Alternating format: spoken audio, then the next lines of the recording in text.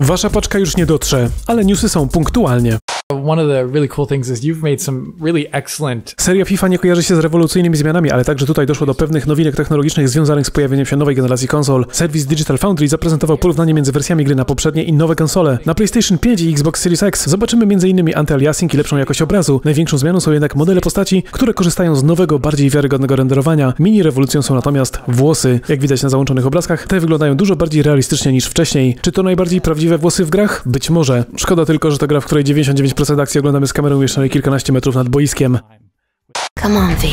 Get you home. Zapewne wiecie już, że premiera Cyberpunk 2077 jest tak płynna jak napad, którego bohaterowie gry dokonują w jej pierwszych godzinach. Po usunięciu gry ze sprzedaży w PlayStation Store przyszła pora na kolejne potknięcia. Gracze odkryli, że save gry na PC-tach nie może przekraczać 8 MB, a jeśli tak się stanie, mogą dziać się dziwne rzeczy. Pewna kancelaria prawnicza z Polski mówi też o możliwości wystosowania pozwu przeciwko firmie. Bloomberg donosi, że wewnętrzne spotkanie w studiu CDPR było możliwe. Zarząd przeprosił na nim pracowników za problemy i odpowiadał na pytania. Tych było całkiem sporo. Nie zmienia to faktu, że Cyberpunk jest olbrzymim sukcesem już teraz. Na samych PC-tach grę może posiadać nawet 15 milionów osób. Gdzieś na przestrzeni weekendu wyszła łatka 1.05 poprawiająca wiele błędów w misjach, ale przed chwilą grałem i wiele błędów, które pokazaliśmy w liczę na glicze nadal jest w grze. People from all over have converged on the already overcrowded night. What this means Pod koniec ubiegłego tygodnia w sieci pojawiło się sporo materiałów z mobilnego Diablo Immortal. Niedługo gra ma wejść także w fazę technicznych testów na terenie Australii, które potrwają kilka tygodni i przetestują stabilność serwerów oraz inne aspekty. Jednocześnie twórcy zapewnili, że gra będzie w 100% darmowa, chociaż oczywiście pojawią się opcjonalne mikropłatności.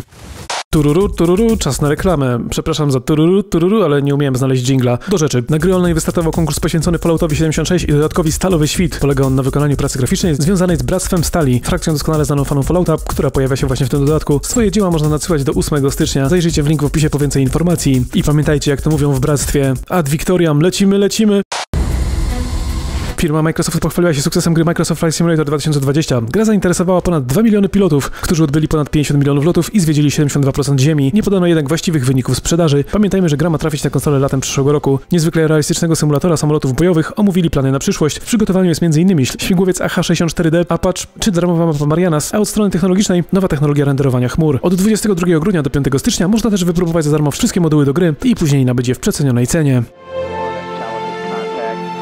Na PC-tach od jakiegoś czasu pojawiają się tytuły wybitnie konsolowe, niech przykładem będzie seria Yakuza czy Persona. Wygląda na to, że to nie koniec konwersji, bo w bazie danych amerykańskiej organizacji przyznającej klasyfikacje wiekowe grom pojawiły się wpisy dotyczące No More Heroes 1 i 2. Gry wyszły pierwotnie na konsoli Wii, a później zostały przeniesione na pozostałe platformy i chociaż nigdy nie sprzedały się świetnie, zyskały sobie status kultowy. Wcielamy się w nich w Travisa Touchdowna, zwykłego młodzieńca, który postanawia zostać zawodowym zabójcą. Wiem, że to będzie dla Was szokiem, ale Steam szykuje się do wyprzedaży świątecznej. Ta ma wystartować 22 grudnia o godzinie 19, tak przynajmniej wynika z nieoficjalnych informacji. Wcześniej Valve pochwaliło się, że tegoroczna jesienna wyprzedaż była jedną z największych w historii platformy, jeśli nie największą. Firma przy okazji ujawniła gry nominowane do nagród Steam Awards.